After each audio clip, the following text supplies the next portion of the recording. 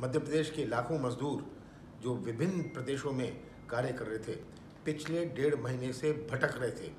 मध्य प्रदेश वापस आने अपने गाँव में अपने ज़िलों में वापस जाने के लिए खाने का कोई प्रबंध नहीं था। और बड़ी दुख की बात है कि ना तो केंद्र सरकार ने ना राज्य सरकार ने इसका कोई निर्णय किया उनको कोई साधन उपलब्ध कराए या उनकी कोई सहायता राशि करी। कांग्रेस अध्यक्ष सोनिया गांधी जी ने जो फैसला किया है कि हर कांग्रेस पार्टी आ, इनके पूरा किराया देगी, ट्रेन का किराया होए, बस का किराया होए, कांग्रेस पार्टी भरेगी, ताकि हमारे मजदूर जो अपना गाँव छोड़ के तलाश में गए थे, अपने जीवन को मज़बूत रखने के लिए आज उनके लिए कुछ राहत मिले।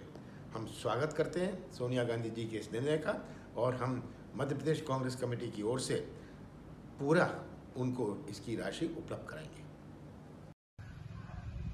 अखिल भारतीय कांग्रेस कमेटी की अध्यक्ष श्रीमती सोनिया गांधी जी ने आज सभी पीसीसी को निर्देश दिया है कि प्रवासी मजदूरों को उनके घरों तक जाने का किराया कांग्रेस पार्टी देगी। उत्तर प्रदेश कांग्रेस कमेटी हर तरह से मजदूरों की मदद करने के लिए प्रतिबद्ध है।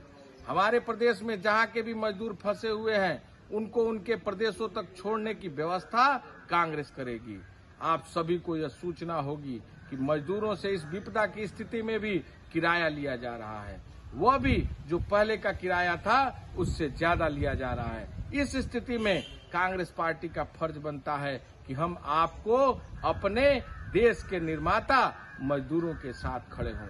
हम उत्तर प्रदेश के फंसे प्रवासी मजदूरों को रेलवे किराया वहन करेंगे सरकार से यह भी अपील करेंगे कि उत्तर प्रदेश से अन्य प्रदेशों के लिए रेलवे यात्रा शुरू की जाए ताकि हम पूरी तरह अपने पास से व खर्चा वहन करके उन मजदूरों को उनके प्रदेशों तक भेजने की व्यवस्था सुनिश्चित कर सकें।